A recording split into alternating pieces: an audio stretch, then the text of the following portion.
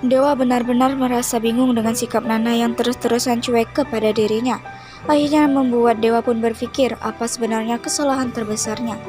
Lalu bagaimana dengan Dewa ya guys jika ia mengetahui bahwa Nana cuek karena setelah Nana menerima surat gugatan cerai dari Dewa. Kira-kira apa ya guys yang akan terjadi di episode selanjutnya?